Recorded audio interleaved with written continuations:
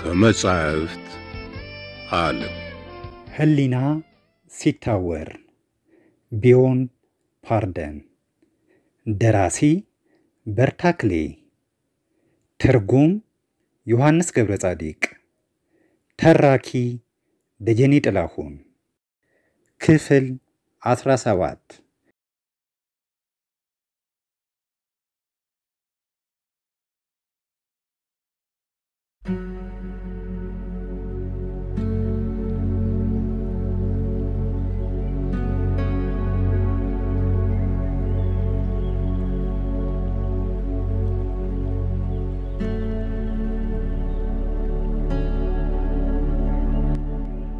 የዛሬው ምሽት ሌላ ነበረ አላት። በጣም ነው የተደሰትኩበት። እኔ ብቻ ሳልሆን የመጣው ሰው ሁሉ በየፊናው የፈለገውን ለማድረግ በመቻሉ አስደስቶኛል። እኔም ልቤ የፈቀደውን ፈጽሜያለሁ አለች ቆንጆዋ ሴት። ካንተ ጋር ብዙ ተጫወትኩ። በዓለም ላይ ካለ ነገር ሁሉ ይበልጥ ካንተ ጋር መጫወት ነው የሚያስደስተኝ። እጇን ጠበቅ አድርጎ ያዘ። ቀጥሎም ካፉ ከመውጣታቸው በፊት ልቡ የተጠየፋቸውን ቃላት ተናገረ። ይህን የተናገረው ወዶ ሳይሆን ጊዜያዊ ስሜት አስገድዶት ነበረ። የደበዘዘ መብራት፣ ያማረና በአበባ ያጌጠ ቤት፣ የለሰለሰ ሙዚቃ፣ የቆንጆ ሴት ፈገግታ፣ በፍቅር የጦዘ ዓይንና ውሃ የሚያደርግ እይታ ከሚችለው በላይ ሆነበት። እነዚህ ነገሮች አስተዋይነቱን፣ ክብሩንና ታማኝነቱን እንደ ጎርፍ ውሃ ጠራርገው ወሰዱበት። በዚህም የተነሳ ለፍቅር መግለጫ ሊሆን የሚችሉ ምርጥ ቃላት አንዳቸውም ሳይቀሩ ተጠቀመባቸው። አበድኩልሽ፣ ሞትኩልሽ፣ ተቃጠልኩልሽ ሲል ተናዘዘ። ሌላም ሌላም ጨመረበት። ልጆቹና ሚስቱን እንኳን ሊያስታውሳቸው በሕይወት መኖራቸውንም ረሳ። የሴት ልጅ ምትሃታዊ ኃይል ሕሊናውን ሰወረበት። በፈገግታ የተሞላና በሚንከራተት ዓይን የተደገፈ የሴት ልጅ አመለካከት የመጨረሻው አዋቂና ጭምት የተባለውን ወንድ እንኳን ስለሚያሳብድ እሱንም አልማረውም። አሁንም ባርናቆት የተሞሉ ግን መልሰው የማይወጡት የቃላት ጋጋታ ዘነበላት። ያዘነባቸው ቃላት ልብና አንጎልን ሰንጥቀው በመግባት እንደ እሳት የሚያቃጥሉ ነበሩ። እድለቢሷና አፍቃሪዋ ሴት አብዳ እንዳሳበደችው ሁሉ እሱም በተራው አብዶ በይበልጥ አሳበዳት። በሕይወት እስካሉ ድረስ ሁለቱም ያችን ቅጽበት አልረሷትም። የሚቻል የሚቻል ቢሆን አለች ቪቫን። ዘውትር ካንተ ባልለይ የእኔም ምኞት ይኸው ነው። ካንቺ ተለይቼ እንዴት አድርጌ መኖር እንደምችል አላውቅም። ሙዚቃው በድንገት ስላለ እሱም ጨዋታውን አቆመ። ጋባዧ ሙዚቃ መጫወቷን አቁማ ከባሏ ጋር ማውራት ጀመረች። ሁለቱ ፍቅረኞች ጥግ ይዘው ስታያቸው ደነገጠች። መደንገጧ ከፊቷ ላይ ታየ። ሰር ሊዮኔል ሚስት ማግባቱን አታውቅም። ቪቫን ትዳር ያላት ሴት ስለሆነች የምታደርገው ነገር ተቀባይነት ያለው ሆኖ አላገኘችውም። ከሚጠበቀው በላይ ስለሆነባትም ነው የደነገጠችው። አንድ ሌላ ዘፈን ተጫውታ ብታቆምና ከሁለቱ ፍቅረኞች መካከል ጣልቃ ብትገባ የሚሻል ለመሆኑ ለራሷ ነገረች። የሰር ሊዮኔልን ስሜት በጣም የነካ ዜማ ቀጥላ ተጫወተች። ስሜቱ ለምን እንደተነካ ለሷም ግልጽ አልነበረም። ዘፈኑ የሰር ሊዮኔል ሚስት የምትወደውና ዘወትር እያንጎራጎረች የምታዜማው ዜማ ነበረ። ዘፈኑም በሰማ ጊዜ ሚስቱ፣ ልጆቹና የቤቱ አቀማመጥ ሁሉም በአንድ ላይ ወለል ብለው ታዩት። ዜማው ያቀፋቸው ስንኞች በሞላ ጎደል የሚከተሉት ነበሩ። ሁሉም ክንፍ አውጥቶ ነጎደ። የባከነው ጊዜ መናፍስትን እንኳን እያናደደ ኃጢአት ተፈጸመ። እንቅልፍ ወስዶት ሕሊና የተገባው ቃል ተውጦ ተስፋ ተረሳና ከጥላቻ ከቅያሜ ከትግል በቀር ሁሉም ክንፍ አውጥቶ ነጎደ ሄደ ላይመለስ ተራመደ። በዚህ ስሜት እኮ ነው የምንቀበል ጌታችንን የጠወለገ ቅጠል ይዘን ቢሆንም እሱ ይፈልጋል ጥሩ ፍሬ እንዲኖረን። ምን ይሆናል ታዲያ ቃላችንን አጥፈን ውርደት ተከናንበን እሱ የሚያመጣውን እየተጠባበቅን ከፊቱ እንቆማለን ስራችንን ረስተን። ሁሉም ክንፍ አውጥቶ ነጎደ ሄደ ላይመለስ ተራመደ። እነዚያ ቃላት ያሳደሩበት ስሜት የሚያስገርም ነበረ። በኃይል የተወረወረ ጅራፍ የሰውነት ቆዳን ልጦ እንደሚነሳ ሁሉ እነዚያም ቃላት የስሜቱን ቆዳ ላጡት፣ አስጨነቁት።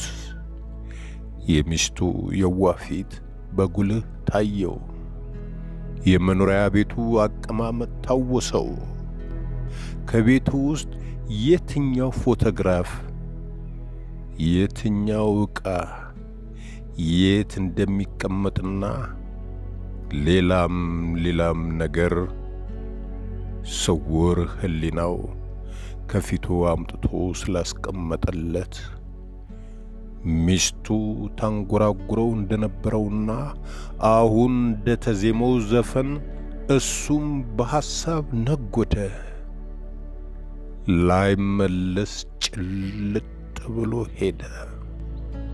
የሚወዳት ሚስቱ ሙዚቃ የምትጫወትበት ፒያኖ የት እንዳለና እነዚያ የሚያማምሩ ፍንዱቄ ልጆቹ በዓይነ ሕሊናው አያቸው።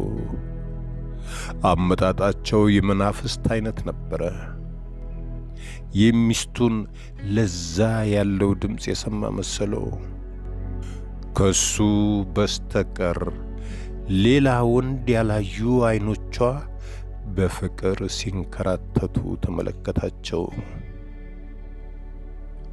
አይኖቿ ከጅራፍ ይበልጥ ገረፉት። ከዚያ ተገትሮ ምን ይሰራል? አብዷል እንዴ የምትለው መሰለው። ውሻ ነኝ አለ እርስ በራሱ ሲነጋገር። የማይረባ ውሻ ማለት እኔ ነኝ አለ ቀጥሎ ከንፈሩን እየነከሰና ፊቱን ከቪቫን እየደበቀ ህሊና እንቅልፍ ወስዶት የተፈጸመ ኃጢአት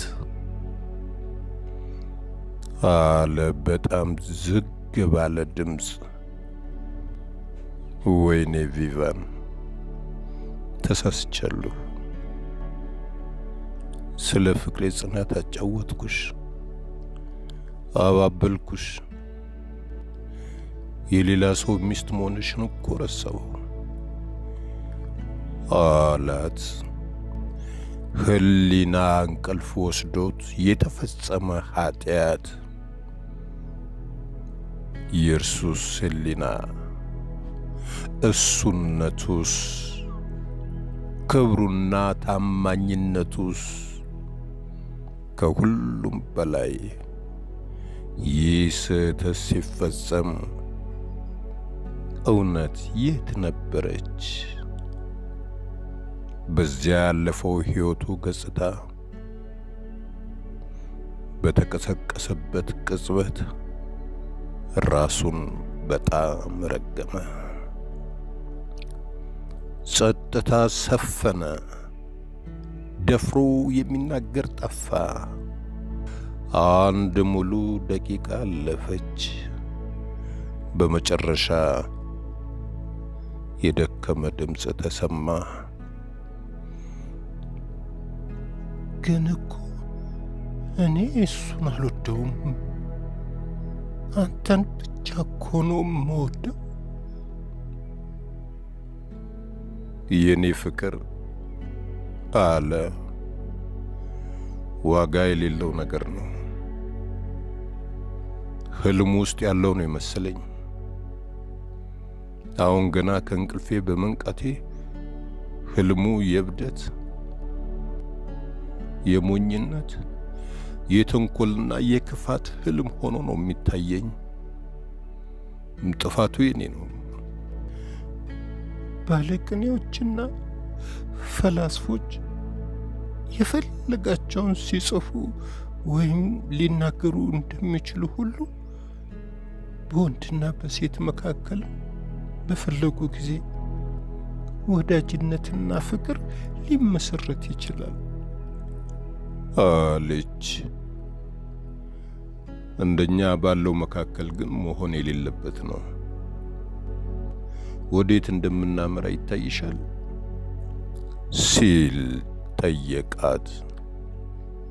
አዎ በማለት ስትመልስለት የነበራት አመለካከትና የአይን መንከራተት የሰው ልብ በቀላሉ ውሃ የሚሆን ቢሆን ኖሮ የእሱም ልብ ወዲያው ውሃ ሆኖ በፈሰሰ። እይታውን እስከ ዕድሜ ልክ አልረሳውም። ፍቅርህ ከከዳኝ በሕይወት መኖር አልሻም አለችው። ጓደኛሽ ከመሆን ወደ ኋላ አልልም። ስለ ፍቅር ግን ዳግም ላነሳብሽ አልፈልግም። የሌላ ሰው ሚስት ነሽ ካለ በኋላ እኔም የሌላ ሴት ባል ስለሆን የኔ የሆነ ሰው አለኝ ብሎ ለመናገር ግን የሞራል ኃይል አጣ። ይህን ቢል ነገሩ ሁሉ በተቀየረ ነበረ። አሁን ስለዚህ ጉዳይ ምን አሳስበህ? ስትል ጠየቀችው። የዘፈኑ ግጥም ሕሊና እንቅልፍ ወስዶት የተፈጸመ ኃጢአት። የሰራሁትን ለምን እንደሰራሁት ጉልህ ሆኖ እንደማይታየኝ ታውቂያለሽ?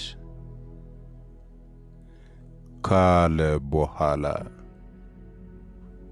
ማሪኝ፣ የኔ ምስኪን፣ የኔ እመቤት፣ የኔ ፍቅር በማለት አባበላት። ባልወድሽ ባላፈቅርሽ ይሻለኝ ነበር ማለት ነው ስትል በማሳዘን ጠየቀችው። እሱም ማለት አይደለም፣ በራሴ ነው ማዝነው። ንጹሕ ልብ ያታለልኩ ነው ይመስለኝ። ከመጠን በላይ የሚተዛዘኑና የሚተሳሰቡ ጓደኛሞች ልንሆን እንችላለን በማለት ከቀባጠረ በኋላ ከዚህ ሌላ ምንም ልንሆን አንችልም አላት። ከመጠን በላይ የሚተዛዘኑና የሚተሳሰቡ ስትል ጠየቀችው። ለጥያቄዋ መልስ ሳይሰጣት እመት ቤሪ እነሱ ወደ ነበሩበት መጣች። ነገር ግን ሁለቱም በደስታ መዋጣቸውን በተመለከተች ጊዜ ተመልሳ ሄደች። ከሁለቱ ፍቅረኞች መካከል ጣልቃ መግባት አልፈለገችም። ይህን ማድረግ ኃጢአት መሰላት። ሊዮኔልዬ በማለት ቪቫን ስሙን ከጠራች በኋላ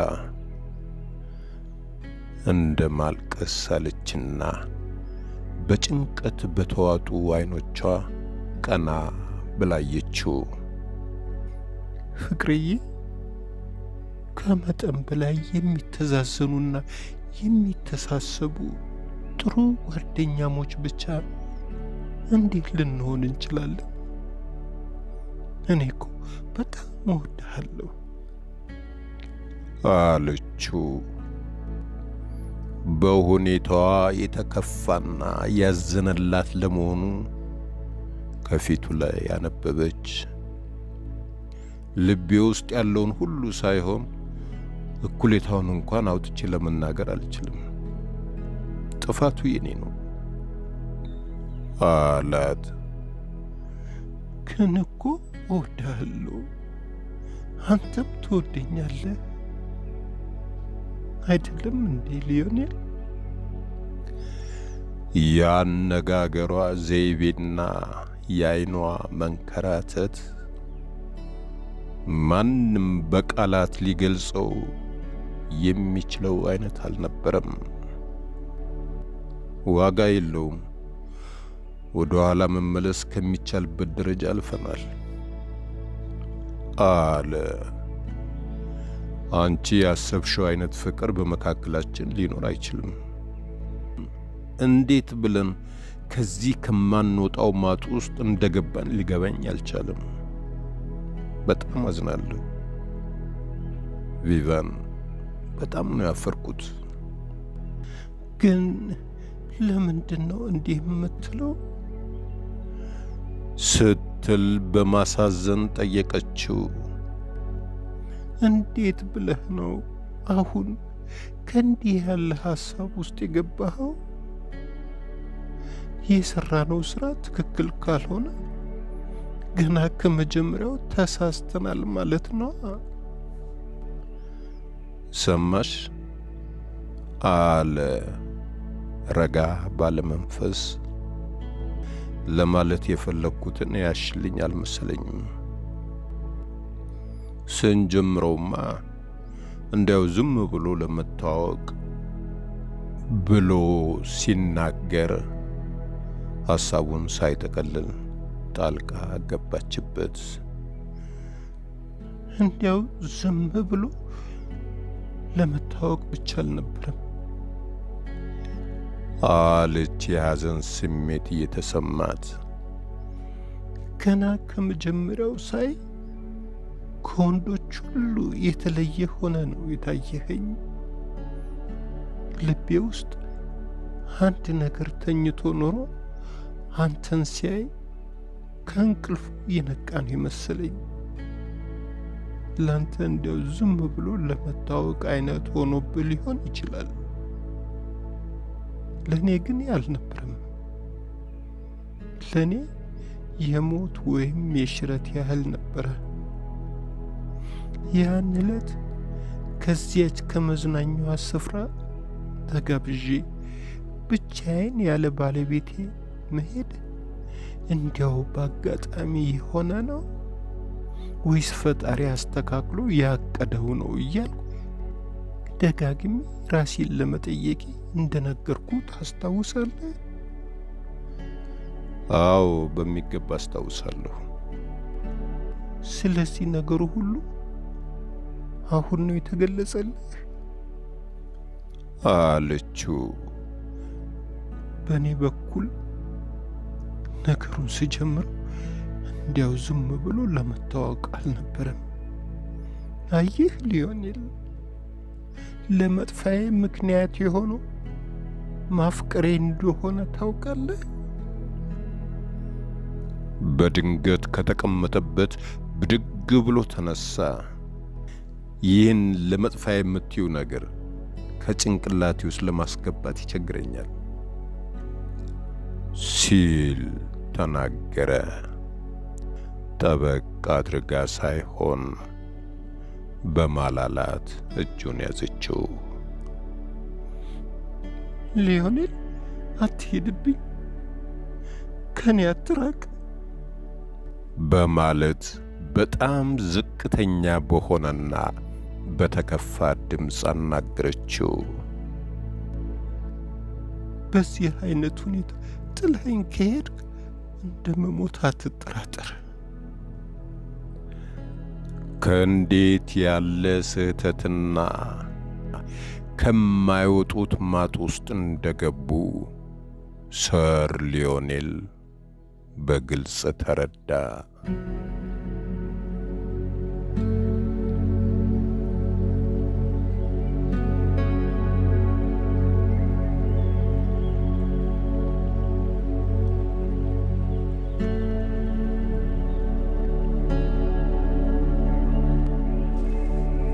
በትረካው ከተደሰቱ ሰብስክራይብ፣ ላይክ እና ሼር ያድርጉ። እናመሰግናለን።